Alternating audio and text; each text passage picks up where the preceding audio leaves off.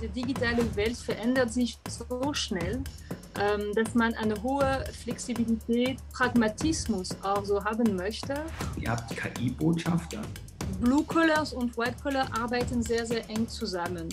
Wie weit ist es wichtig, dass man dann auch das große Ganze sieht? Ja, dieser Continuous Engineering Ansatz, dass man wirklich alle Aktivitäten vertikal, horizontal integriert. Es geht um Menschen und auch es geht um diese Methoden, die man, wo man auch anders zusammenarbeitet. Müssen die Mitarbeiter selbstbewusster werden? Und deshalb könnte man ganz oben bei den Bergen am besten diesen holistischen Ansatz haben, weil man diese breite Perspektive hat.